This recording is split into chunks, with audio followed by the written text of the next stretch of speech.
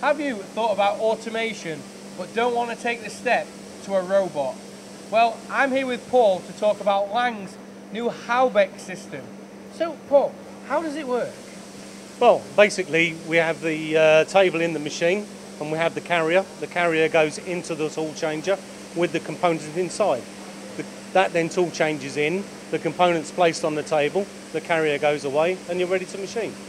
Now, one thing I think we need to make quite clear with this is you don't need no added extras, as in you don't need no hydraulics or any of that sort of thing. It's simple plug and play. It is, yeah. The, the table is the receiver and the uh, carrier is the, uh, the hood.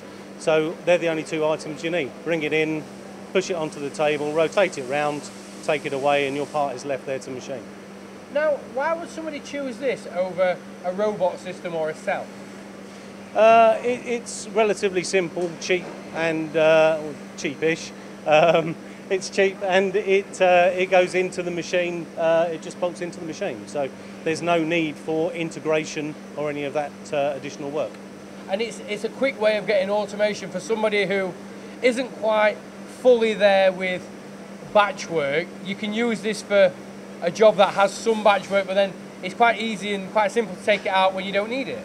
It is, yeah. We it, it occupies a reasonable amount of tool space. So if your tooling magazine is full, uh, it can create some problems. But we tend to uh, to use it for a few additional hours of an evening, rather than you know a whole night's worth of running, because the cycle times we have are not long enough.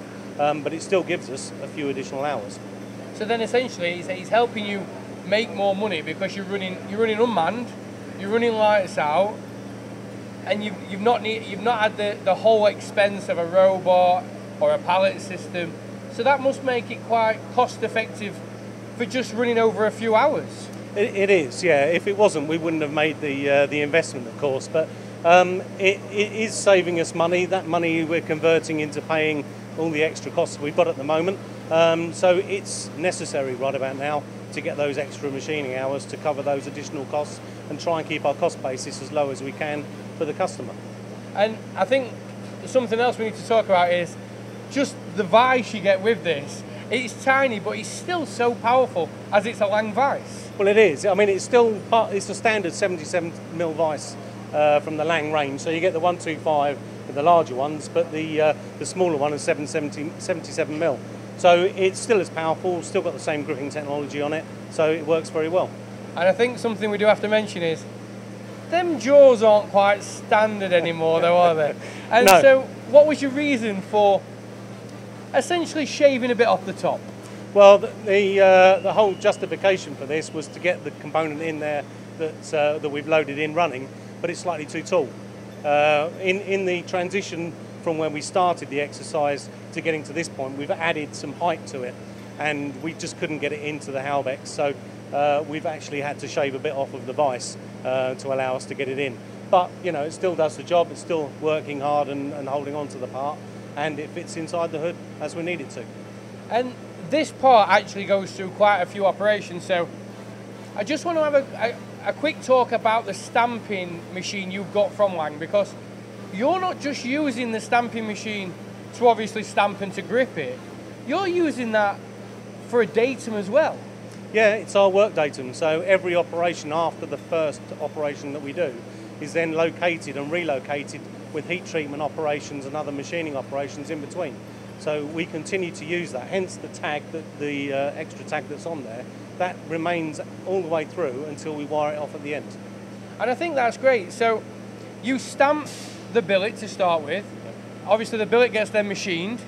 It then goes out for heat treatment. It comes back, gets machined again. Yep. Goes out for heat treatment again.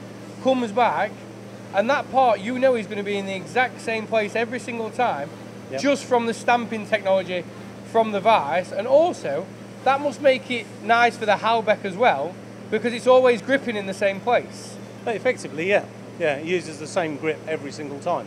So all we have to do is make sure we load it based on the uh, the index mark that's put in the middle, and it will always be in the same place. We do probe, you know, it's a five-axis machine, so we probe to make sure it's, uh, you know, within a few microns of where we need it to be.